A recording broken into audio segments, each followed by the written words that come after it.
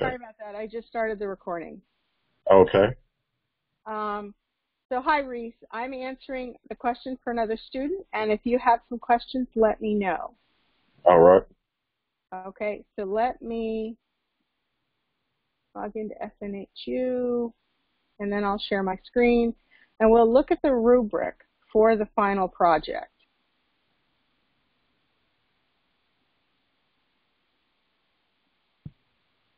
Thank you. You're welcome. I think it's nice that people are starting to think about the final project rather than waiting to week six. So let's go and learning modules. Uh, where is it? I think it's June module 7 and project 2. Sorry, I'm talking to myself. I'm looking for the right rubric. Requirements and rubric. Okay. Okay. Okay, so this is a text-based game. That's what I'm talking to you about. So now I see where the misunderstanding is coming from. Um, let me actually share my screen since I keep saying I'm going to do it and I haven't done it yet. So, and I apologize if you hear my washing machine in the background. Okay. So, I'm sharing my screen, and this is the rubric for your final project. And when it talks about a text-based game, it just means there's no graphical user interface. It's not like you're actually going to see a player on the screen and move that player to the left or to the right. So there's no graphics associated with it. It's what they call a TUI, a text user interface, which is actually a term. Um, and so what you will do is you will use uh, verbal description. So you'll use text on the screen to describe what's happening, what the user can do next, what they can't do if they try and go someplace they're not allowed to go. So that's what they mean by a text-based game. Thank you. I had no idea that's what that meant. Okay. So it's not about like like word game. It's not a word, word game. game. Okay. Okay. Yeah. that, that's the difference. And some people are not as old as me, so they won't have remembered word based. They won't have remembered text based games. But that's what this is. Thank you. I'm so sorry. No, there's nothing to be sorry about.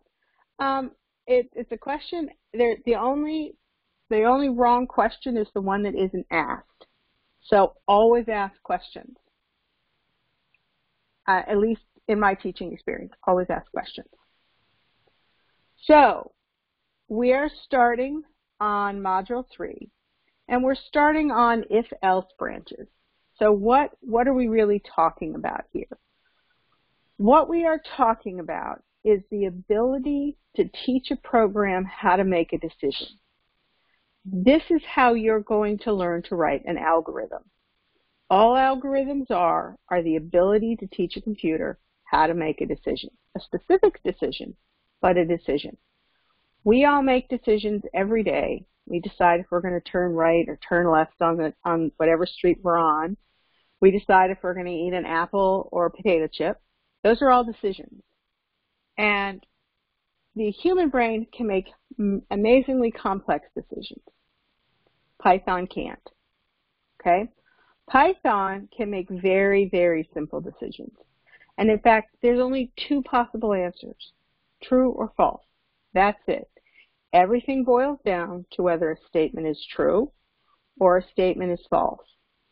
One thing that I see students struggling with when they get to chapter three, and it can kind of be demoralizing, is that they want, students want to ask a question like it would make sense for them to ask a question to their friend. But Python can't understand that. It is too simplistic. So we need to learn how to break down our questions so that you can get a true answer or a false answer. And once you learn that and you understand how to break a problem down so that you can get that answer, it becomes so much easier. And while we think in complex ways, Python can't. So oftentimes you have to break down a single question into a series of steps. And that's where if, elif, and else comes along. So the concept of branching is just that. I, I have my code, I'm running through my code, and I come to a decision point. That decision point can go one way, to let's say can go right, or it can go left. But how do we know? Because we ask it a question, or really, we give it a statement. So, and, and there is a specific syntax and there are specific keywords that go along with this. The keywords are if, elif, and else. Where, where do I see those? This, sorry, I'm scrolling fast here. Um, yeah. So, sorry about that. Um, I'm not seeing where they're actually telling us the definitions. They must have changed this from the last time. Anyway, um, so you have three keywords, if, elif, and else. Those three keywords will be used whenever you make a decision. And by the way, you are going to use the knowledge that you're gaining in Module 3 throughout most of the rest of the class, in fact, through all of the rest of the class. Because from now until the remainder of the class, there is no challenge you will do there is no lab you will, you will do that does not require an if statement of some sort. So what am I talking about? Well, let's go down here. Okay, that's why I hadn't gone far enough. Okay, so I need to ask, I need to tell the computer to ask a question, but computers don't understand questions, they understand statements. So what we are going to do is we're going to learn how to turn a question into a statement using an operator. Um, and what you will see here is just that. We have a variable hotel rate. You know, it's a variable, it's on the left-hand side of a single equal sign. And then I'm getting user age. Again, it's a variable. We all know about int. We're getting stuff from an input. We're going to make it an int. Then I have this new stuff here. If user age greater than 65. So let's break this statement down for a second. If is a keyword. You can only ever use it as a keyword. You can never use it as a variable, anything else. If is a trigger to Python that says, I'm about to branch. I'm going to make a decision and I'm going to run code. If it's true, and run maybe different code if it's false. So the way to read anything after the if is user age is greater than, because that's the greater than symbol. User age is greater than 65, true or false. That's how you read that line of code into English. And if you can remember to think about an if statement in that way so that when you are asking the question, there's only two answers, true or false, it will become much easier. Okay? So that's what this if statement does. And it all depends on what somebody puts in as the user age. Now this is important to remember because you're going to have a challenge that kind of looks like this a little later on. Somebody has entered user age. Um, and this, whether or not this line of code is actually executed depends on the outcome of this line of code. If the outcome is true, we will always go to this line of code and run it. If it's false, this line of code will never actually be run. So let me explain, let me show you what I'm talking about. Let me, I know. Maybe create a file and have it tell me I don't have things set up right. And this is simple if. Okay, so I just copied that in there and I'll now have to go set up my Python interpreter. I still don't know why I have to do this every single time. The old PyCharm did not make me do this. Okay, so and what's important about this is I want to show you, I want to walk through this code with you. Okay. Okay, simple if. Sorry about the administrivia. So I'm going to just put a breakpoint there because it's important right now that we walk through this in the debugger. So I'm in the debugger. We did this before, but we'll talk about it a little bit about it again. The blue, the, the red dot I put there by simply clicking on the line and I said, I want to stop execution of the code. This blue line is where it is currently stopped, where Python, PyCharm has currently stopped. To move to the next line, I step over. So, and then you will see over here under variables, I have a variable called hotel rate. It's type int and it's 55. So now I'm going to step over again and it's waiting because there's an input statement here. It's waiting for me to enter the age on the console. So I move to the console tab and I'm going to say age is 29. Okay? So now I'm on line 5. So I entered 29. So we see here on the debugger screen that user age is 29. So the way to read this is, the way to read line 5 right now, right now. is, is, could somebody mute? can somebody mute? Let me go out. Let me go out. Everyone. He's not muted. I'm not muted. Okay. Muted. Muted. Okay, something's wrong because somebody's not muted. Kenny, are you muted? I'm trying to mute, but the computer locked up. Oh, okay. I let's see. Well, I'll do this and hopefully we won't get too much feedback. So, line 5 again. I'm on line 5. I have put in 29 as my age. So the way to read line 5 is, is 29, sorry, let me stop. The way to read line 5 is, 29 is greater than 65. Is that a true statement or a false statement? Since 29 is not greater than 65, it is a false statement. And that is what uh, Python's going to think. It's going to say, okay, this is false. What does false mean to Python? What false means is that nothing inside the if block, and I know that's a new term I just pulled on you, nothing inside the if block is going to be run. What in the world's an if block?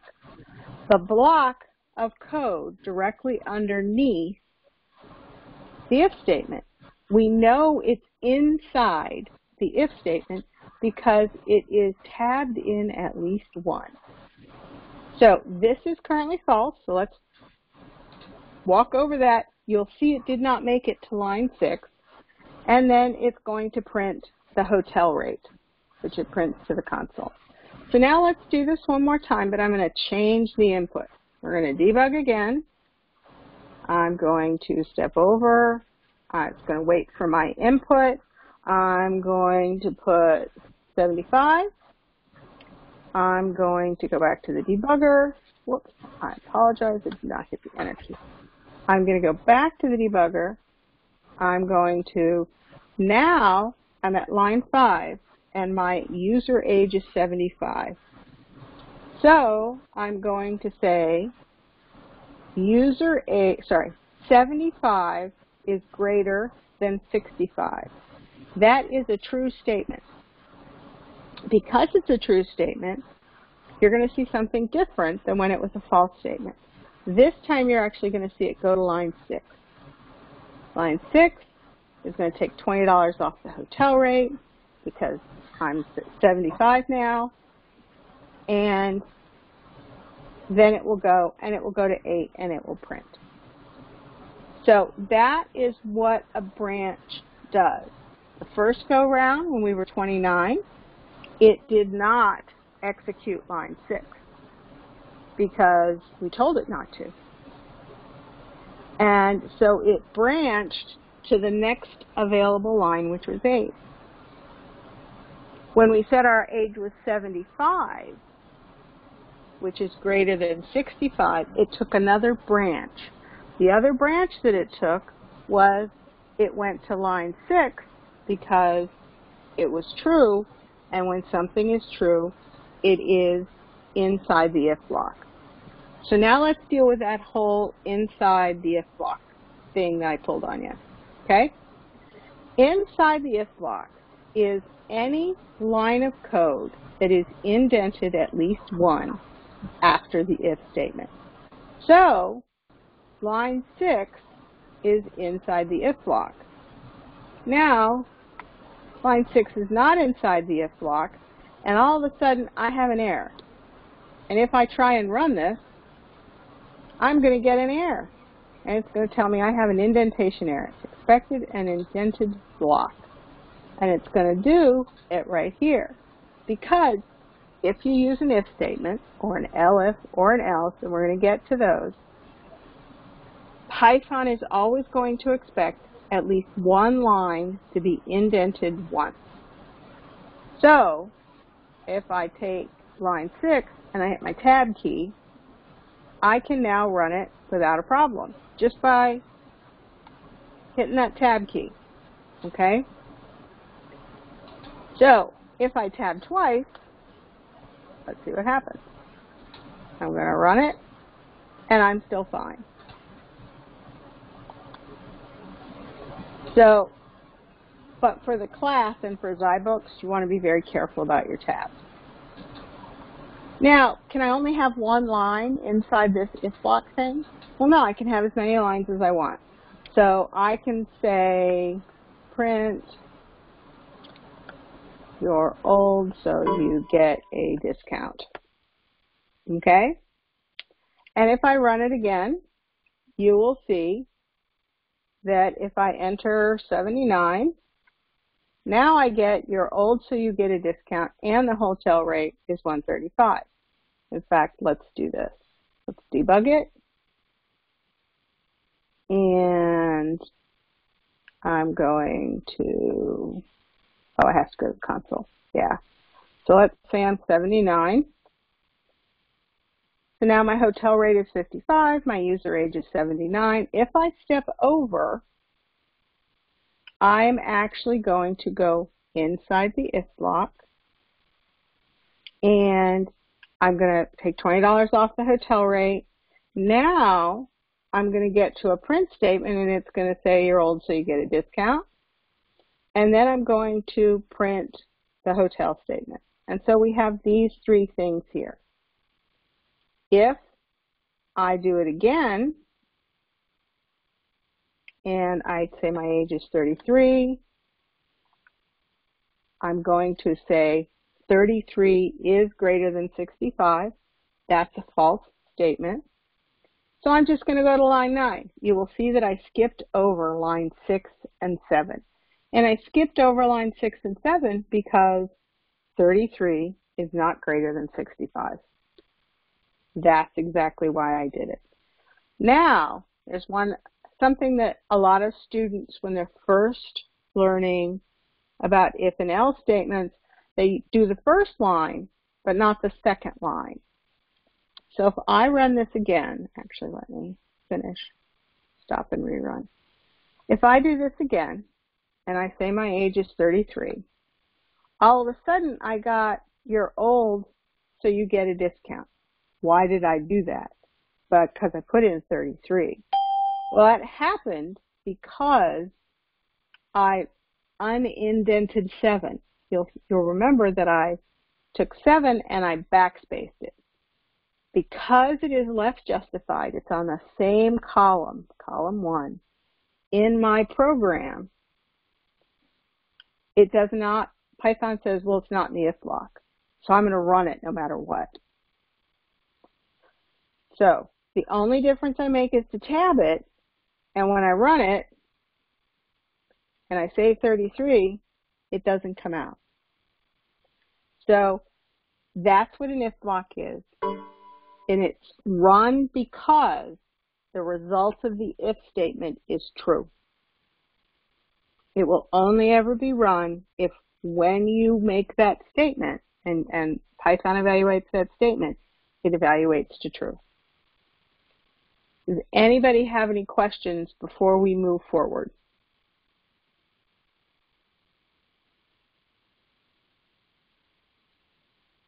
Okay. So,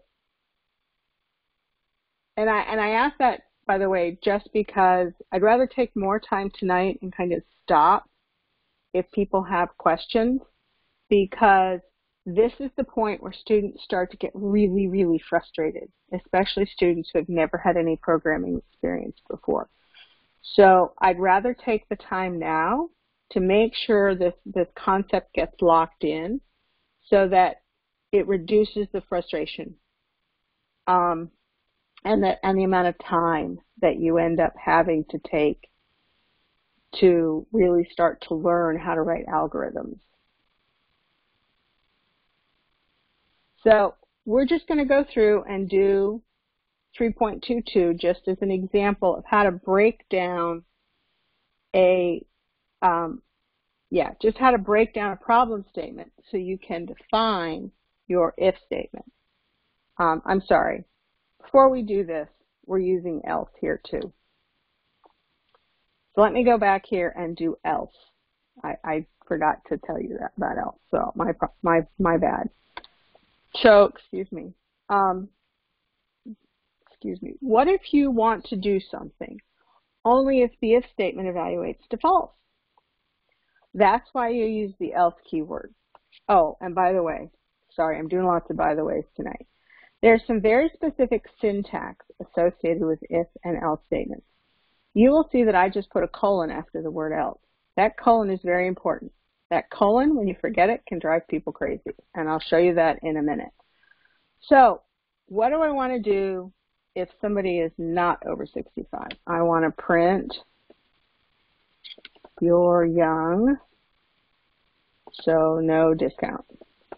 Okay. You'll notice I indented line 9-1 because there's an else block as well. Same concept. If it's indented 1, Python knows to execute it. So what's going to happen here? What's going to happen is if line 5 evaluates to false, the next thing that's going to happen is it's going to end up on line 9. It's going to end up on line 9 because I put an else statement there. And an else means assuming the if is false, then you do this thing instead.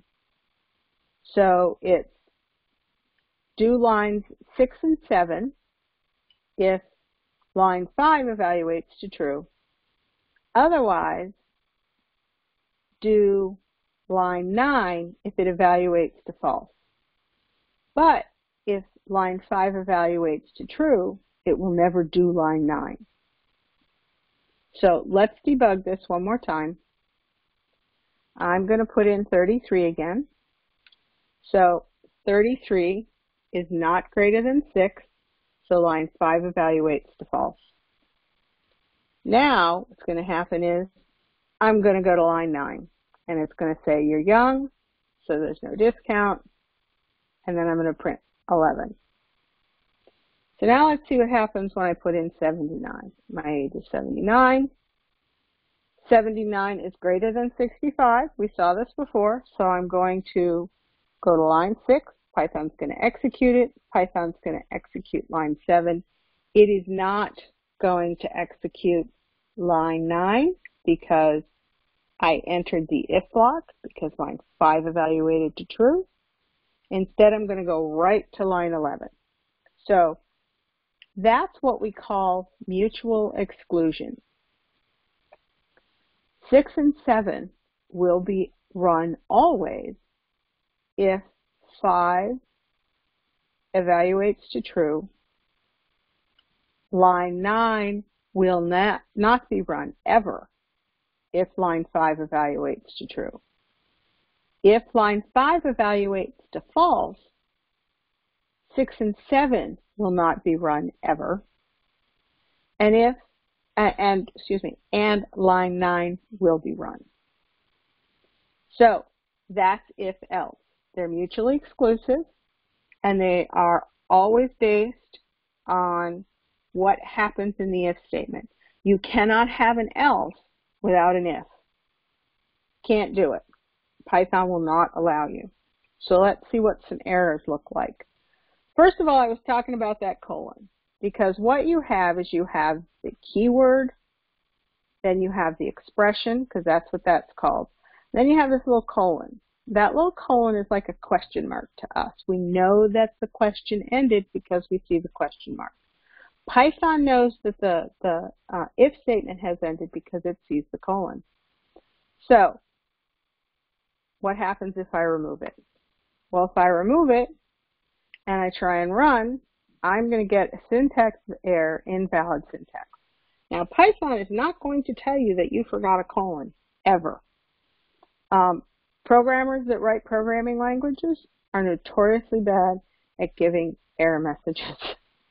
And I know that because for a while I wrote a programming language, a proprietary, obscure programming language, but it was still a programming language. So, um, so how do I fix this? If you have an if statement and you're getting syntax, invalid syntax, most likely it's because you forgot the colon. So I run it I, because I added the colon and it runs.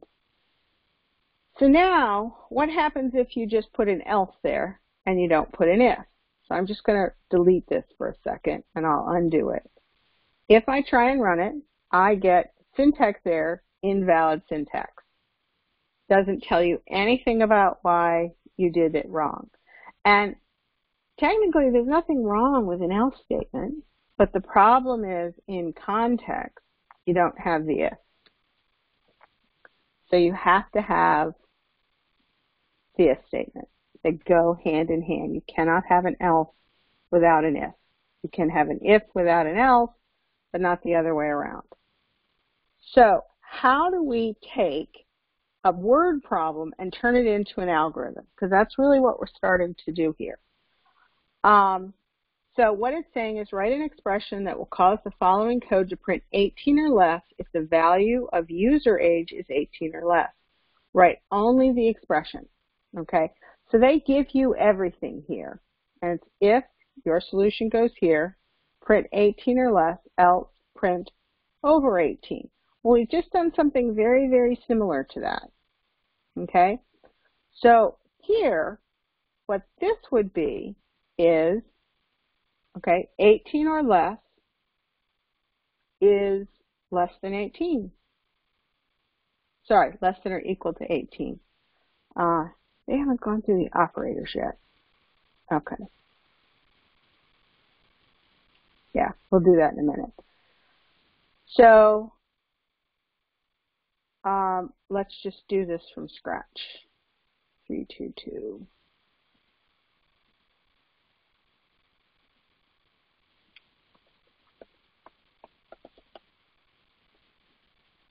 Okay. So we're just going to take this one from scratch. I know it's simplistic, but it's a good way to start thinking about how to write an expression. And I'm just going to do it from, well, let's just do all of this. Okay.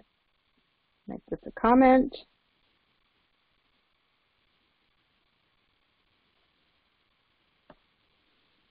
And then this is what they give you. So they're giving you most of the program. And the trick here is to determine what the operator is because that's how you're going to create a statement. So they've asked us if the value of user age is 18 or less. So we have some operators. We have equal, equal. We have less than or equal. So what we're going to do here is we're going to use the less than or equal operator. Um, and the statement is simply going to be user age because we have to have, for a statement, you have to have a left-hand side of the statement and a right-hand side of the statement because you're always comparing two things. It's, you're always going to be comparing one thing to another thing. You can string those together into the longest if statement in the world, but you're always comparing two things. So I need a left-hand side on the operator and a right-hand side. So my left-hand side is going to be user age. And my right-hand side is going to be what?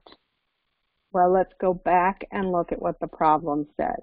The problem said if the value of user age is 18 or less. So my right-hand side is going to be 18 because that's what the problem told me it needed to be. And my comments are irritating me. Okay. Oh, wait a minute. Right-hand side. What did I do? Oh, that's what I did wrong.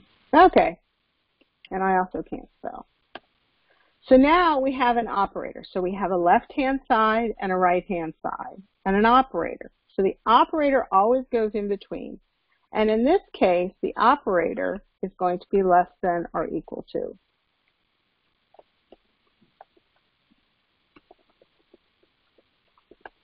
So I have the three components that make up a statement. So how do I write this in Python? I've written it in words. I understand that there's a left-hand side to the operator, a right, sorry, a left-hand side, an operator, and a right-hand side. Well, to write that in Python, I use my variables, my values, and my operators. So the variable on the left-hand side is user age. The operator is less than or equal. And the right-hand side is the value 18. So that is how I came up with that if statement based on this particular expression.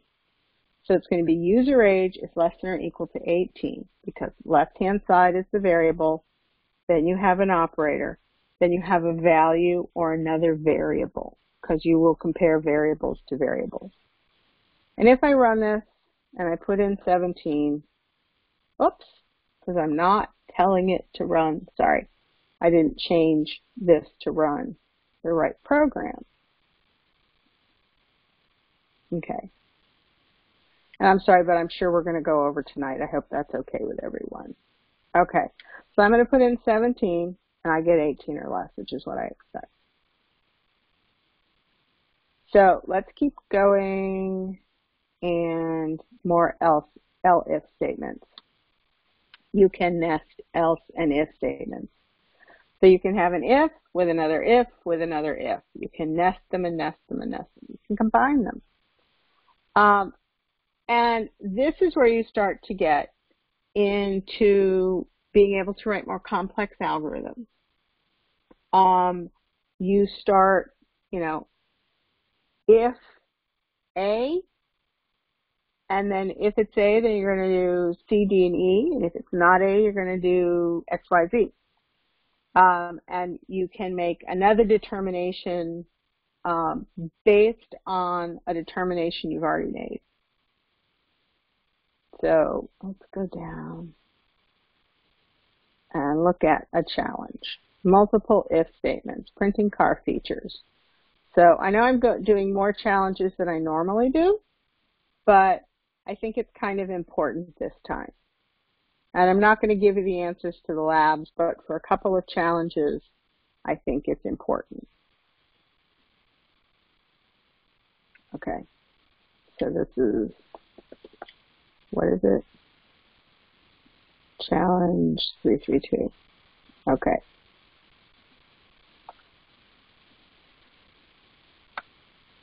Okay, so this is what they're telling us to do.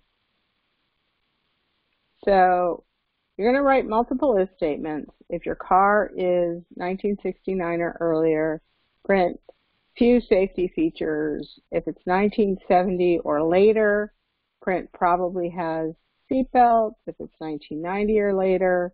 Print probably has anti-lock brakes. I'm not going to do all of these, but I'm going to get you started. So I have all these if statements. Um, end each phrase with a period and a new line. Okay. So what am I going to do? Well, first I'm going to have to get in the car year. So I'm just going to say car year. It's going to have to be an integer. And then based on car year, so car year is my variable, so it's the left-hand side of my statement. I'm going to say if car year, and it this first line says is 1969 or earlier. So that would mean that it, that the number is less than or equal to 1969. So my operator is less than or equal, and my value is 1969. Always remember your colon. And then I'm going to print, I'm just going to copy it, few safety features. Few safety features. And they said end with a period and a new line. Print will end with a new line anyway. Uh, okay. So now, what do I do? Well, uh, these are going to be mutually exclusive. So we've talked about if, we've talked about else. Now I'm going to introduce something called elif. So this is in between if and else. So an elif is else if. That's how you can read it. If it's not 1969, then maybe it's 1970 or later. So again, the left-hand side of my my statement, my expression is going to be car year, and it's going to be 1970 or later. So it's greater than or equal to 1970, then what am I going to do? So I've finished this, and I'm going to print probably has seat belts. So print probably has seat belts. So now, okay, I've done an else if, but let's take a look at this. Now it says if it's 1990 or later. So what do I do here? Well, um, if it's, I've, I've already said that if it's, it's 1990 greater than 1970, well, yes it is. So if I put in 1990 right now, I'm going to hit probably has seatbelts.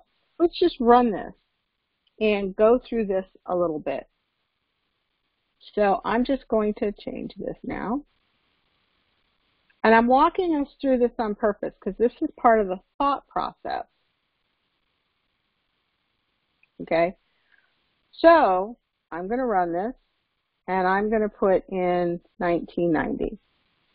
So it says right now that it probably has seatbelts. So what can I do here? Well, I can do a couple of things. One of the things I'm going to do is say the greatest number that I have is 2000. So rather than start with 1970, I'm going to look at the greatest number because I'm doing greater than or equal. So I will say elif car year. So again, we know that the left-hand side of our statement is car year, that it's greater than or equal to 2,000. Whoops, not 200. 2,000. And I'm going to print probably has airbags. Okay? So now you'll see what I did. I decided to rearrange the problem statement to meet my needs. Because now, if I put in, well, let's do the next one, 1990. So we're just going to say elif car year is greater than 1990. Yeah, it's going to say probably has anti-lock brakes. So now we'll see that if I put in 1990, I don't get to the 1970 stuff. So if I say 1990, it's going to say probably has anti-lock brakes. So even though this is given to me in a specific order, it doesn't mean the order that the problem statement is in logically makes sense for the solution. This solution made sense because we were using greater than or equal to. The initial if is if it's less than or equal to 1960, just print this and be done with it. The other ones made more sense to start with the larger number because we were using greater than or equal to. So let's keep going. So here's all of our operators. I just started talking about less than and equal to, like greater than or equal to. There's a whole series of operators that you can use with these statements. They're called Boolean operators, and they mean something very specific. These tables are your friends because they will tell you how it will evaluate. So double equal is equivalent to, is equal to. You know how when I'm talking about variables, I say we know it's a variable because it's on the left-hand side of a single equal sign. That's why I use the word single equal sign. Because here we have a double equal sign. A double equal sign means equivalent. Uh, is the thing on the left-hand side same as the thing on the right-hand side? If the thing on the left-hand side is the same as the thing on the right-hand side, it will be true. It will always evaluate to true. If the thing on the left-hand side is not the same as the thing on the right-hand side, it will evaluate to false. And that's pretty much what this table is telling us. It says, if you assume that x is 3, so it says 3 is the same as 3. That's true. 3 is the same as 4. That's false. So that's what it's telling you. And, and basically, you can always evaluate every operator to true or false, every single Boolean operator. So just like we have is equivalent to, we have the opposite, which means it's not equivalent to. Opposite in Python is the uh, is the exclamation mark. So if you see exclamation equal, it can read not equivalent to or not the same as.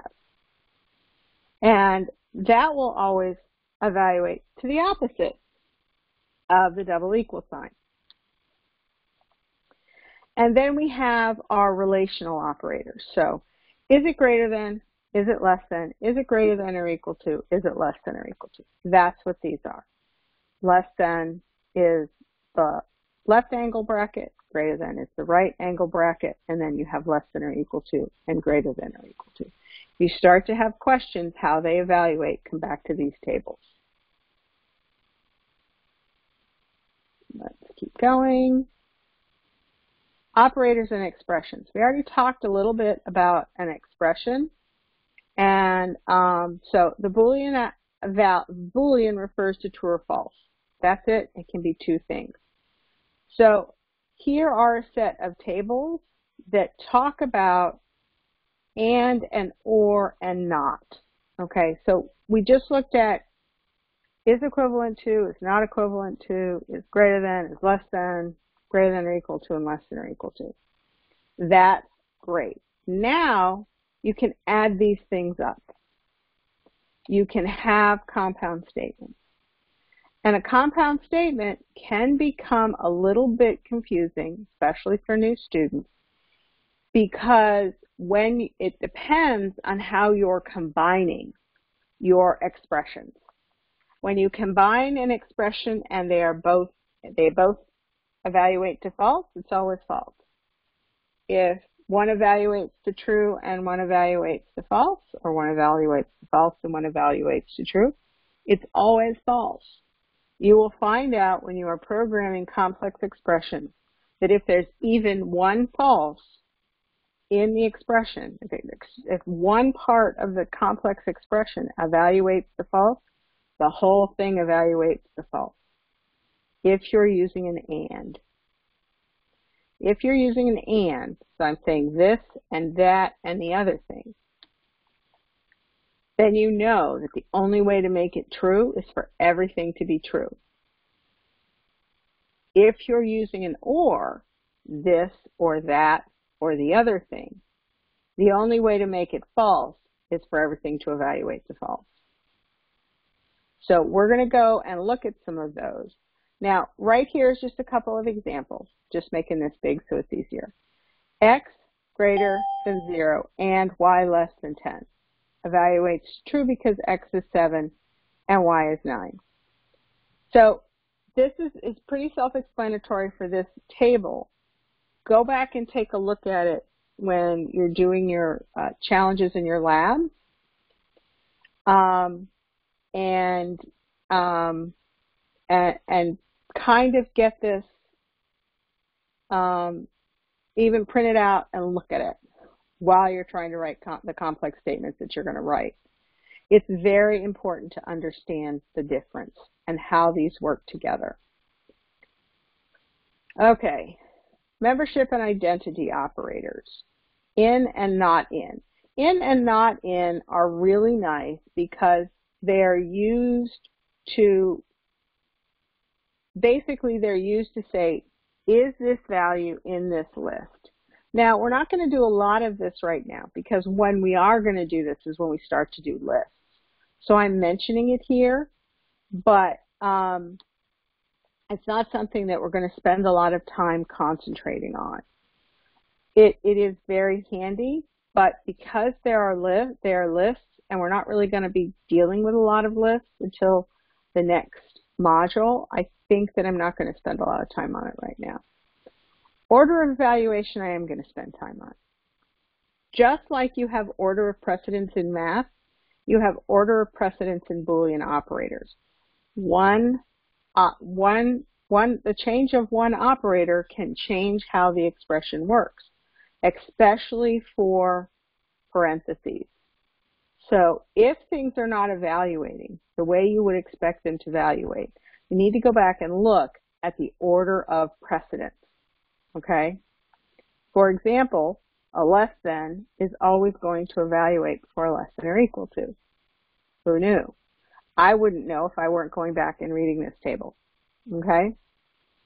So this is another table to keep close while you're writing your expressions. When in doubt and you want something to, to, to be evaluated first, put parentheses around it. Code block and indentation. We've already talked about code blocks and indentation. Conditional expressions. Um, so we've pretty much talked about conditional expressions as well. That's with the simple if and the else. Um, this is practice for a tweet decoder, so lab.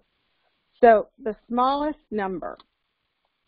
So we're going to kind of go over these. Of course, I'm not going to give you the answers, um, but please ask any questions if um, you have any at this point. Put them in the chat, raise your hand, say something. Um, so 3.11 is write a program whose inputs are three numbers and whose output is the smallest of the three values. So you're going to have three variables, okay? And because they're all going to be three separate user inputs, they're going to be integers. And then what do you do? Well, you're going to check one against the other. And in this case, we would be using, uh, if you're looking for the smallest, you're going to be using less than. So if, um, yeah. So let's just go through something, well, I'm thinking, hold on. Um, let's let's talk through this one, and then we might go through one of the other ones a little more closely. This is going to use the less than or less than an equal operator. You guys have to decide because what happens if you put in a 3 and a 3? Because 3 is not less than 3, but it is less than equal to 3. Um, you're going to have three input values, and you're going to check those input values against each other, but you only need two checks. You don't need to check everything against everything else. You need to do one check. I think you'll have three checks. Um, but you don't need to check every permutation. So you're going to have an if. You're going to have at least an else. Um, and then print out the smallest number. Seasons. This one is a little longer and a little more difficult. So this one is write a program that takes a date as input and outputs the date season. This requires some work with if and else and combinations of things. Um, so we're going to do a little bit of this one. Um, yeah, so we're going to do a little bit of this one, and I know we're going to go a little late, and I hope that's okay. So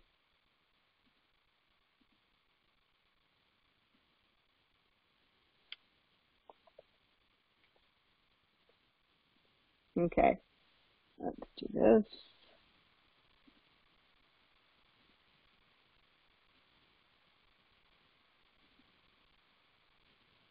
Okay. So I'm just going to copy this all as a big comment.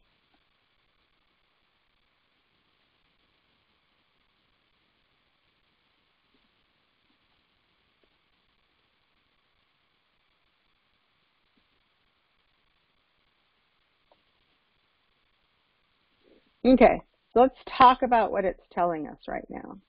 What it's telling us is that it wants you to write a program that takes dates as input and outputs the dates season. The input is a string to represent the month and an int to represent the day. So you know you're going to have two input statements, okay? So, and it tells you if the input is April 11th, then the output is going to be spring. Now, you're also going to have to check whether somebody is giving you valid input. If they're telling you the day is 107, then we know it's not a valid input because the most there can possibly be in a month is 31 days. And then they give you this information for the seasons. Okay? So spring is March 20th to June 20th, summer is June 21 to September, autumn is blah, blah, blah. So let's talk about this and do a little bit of playing around with the code. So first I'm going to have to have two inputs. I'm going to have date, day, let's do day. So the first input is going to be day, and the second input is going to be month.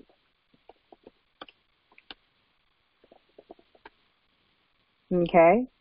So when I input the day and I input the month, what's the first thing I have to do? The first thing I have to do is check if it's valid. Okay? So I'm going to write an if statement, and I'm going to say it's going to be a compound if statement. Um, let's just, you know, check this out. Let's just start. We'll just check it for the month and then you guys can check it for the day. I'm going to say if, well, we have those in operators. That will be easier. I'm going to go back and I'm going to, I'm going to backtrack on what I said because we're actually going to need those in operators for this. Okay. We're going back here and I apologize for backtracking. Membership and identity operators. We need these right now. We have in and not in. That lets us know if something is inside of a list. We know how to create a list. We don't know how to do a lot to a list yet, but we know how to create a list. So let's look at the months. So I'm going to create a list, and that list is going to be months, and I'm going to say January, February, March, and you guys get the picture.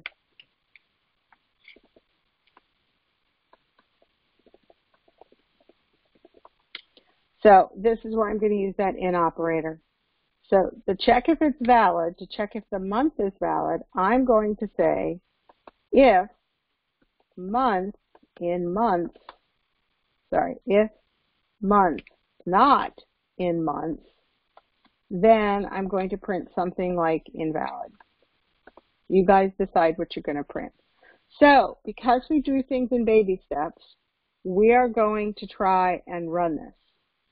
So for right now, I'm just going to put in a day of 25 and we're only checking the month, so we're only going to see this dealing with the month.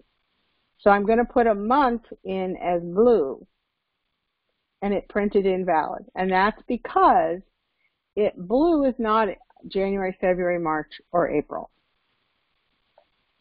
So that is how you check if it's valid. And then you're going to have to check if the day is valid. Okay, so if I put in a date of 65, I'm going to have to say, hey, wait a minute, is day valid? By the way, if it's invalid, then you have to kind of stop the program. Okay? So that is something to take a look at. You may want to change the order of things if you're going to stop the program. So now let's do a quick example of spring, summer, autumn, and winter. So spring is going to have March through June. Okay? So there's different ways of slicing this. But if I say, uh, let's see, spring is March, March, April, May, and June.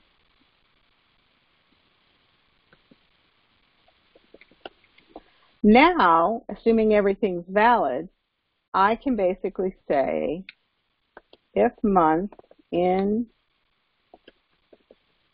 in spring, print spring. So I'm going to run this again. And I'm going to say 22. And I'm going to say March. And it says I'm in the spring. So let's see if I run it and do something that's not in the spring. So I'm going to say 22. I'm going to say January. And nothing happened nothing printed out because it wasn't in the spring. So now you that this is how you start. This is how you use the in operator. I'm not going to do any more. This is how you start. So once you have all of your seasons, you then have to deal with the fact that you have now date ranges for those seasons. So if the month is March, is March in the spring? Based on not only the fact that March is in the spring, but there are dates involved. So if I put in March 19th, I'm in the winter. If I put in March 20th, I'm in the spring. So those things need to be taken into account, but this is kind of the basis and the things that you need to start this lab. Okay, sorry for the aside there. That's why they were telling us about the in. All right. Smallest number we talked about, lab seasons. All right, let's go to the last one. Exact change. Exact change can be maddening because for me, I always forget in Python about the floor operator. I don't remember about the floor operator. So in this particular uh, lab, you have to use the floor operator because it will tell you what you need. So basically, you're writing a program with total change amount as an integer input, and you're going to output the fewest coins that you can. So let's say I put in 110. So I'm going to print out that's a dollar and a nickel. If I put in 125, I'm going to say it's a dollar and a quarter. If I put in 150, I'm going to say it's $1 and two quarters. So that's what they want you to do, or actually it'll be, sorry, $1, two quarters. That's what the output will be. So that's what they want you to do here. You have to use the floor operator to do this properly. So basically, you, and you need to check your margins. You need to check what we call the edges. So if they put in, if they put in zero or less, they're going to say no change. It's a negative number, anything like that. So the first check you're going to do, the first if statement, is going to be if the user input is less than or equal to zero, print no change, and you're done. Or you could say, well, I'm not going to confuse the issue, sorry. Um, if the input is 45, you're going to say one quarter and two dimes. So how do you do that? You use the floor statement.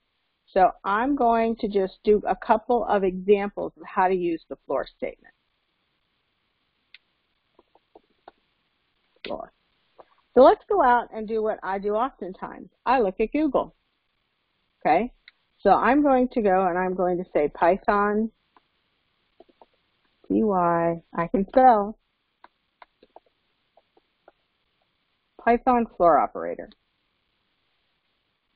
Floor division. So this is something, and we did talk about the floor operator very, very briefly in Module 1. But this is how you're going to use the floor operator. The floor operator basically says, give me the whole number back. Okay? So I, and, and here's the example. If you divide 5 by 2, you get 2.5 back. If you use the floor operator, so if you if you say five floor operator two, you get two back. So you only get a whole number back. There's no fractions. There's no decimal places. So, excuse me. That way you can do something like this. So if I say money, and I'm going to say 150, okay? And then I'm going to say, let's see,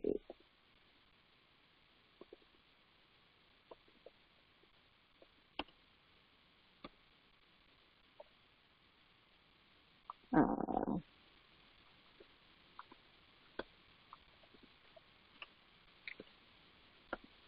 so what I can do is I can say amount is equal to money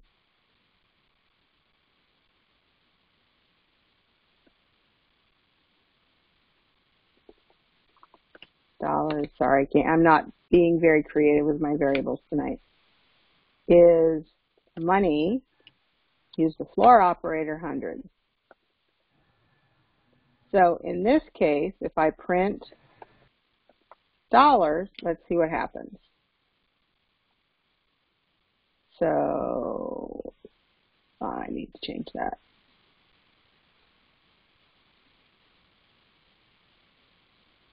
Floor. So if I run this, oh, sorry, I ran it. I get one. Let's debug it for a second so it's a little clearer. So I have money, and I have 100, and I have quarter, which is 25. So I say dollars, floor, 100, and I get 1. I really didn't need to debug this, did I? So I'm going to print out 1.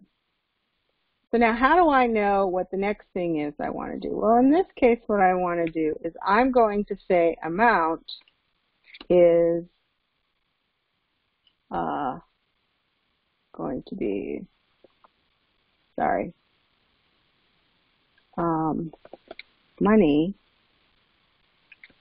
minus dollars times 100. I'm going to print amount, and we can see that now we have 50. Okay, so I created dollars so by dividing money by 100, so I know I have one unit that is 100. And I printed it out and But now I want to figure out how much I have left. And to do that, I have to subtract the number of dollars that I have from the amount of money that I put in. And I do that by simply doing a subtraction and you'll notice I put my parentheses around here.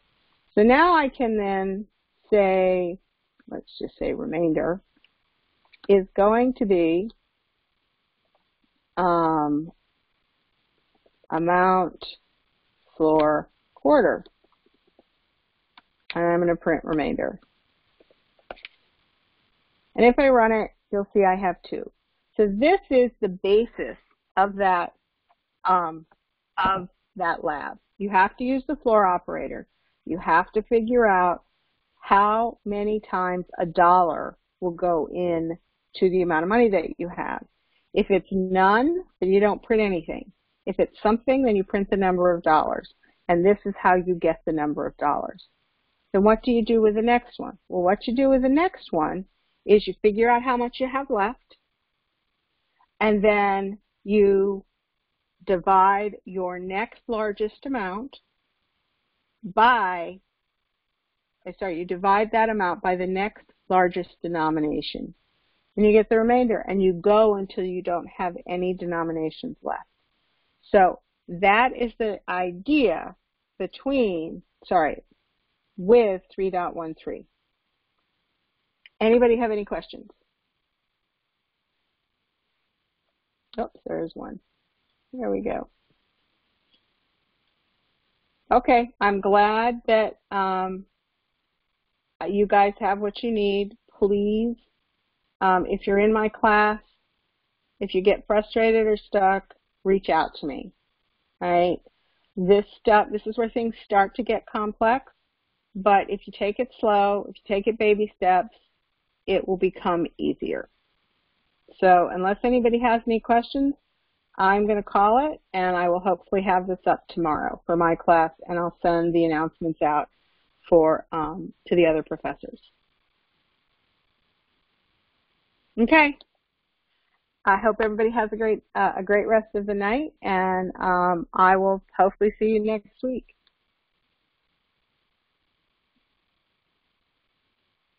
Thank you. No problem. Good night. Night.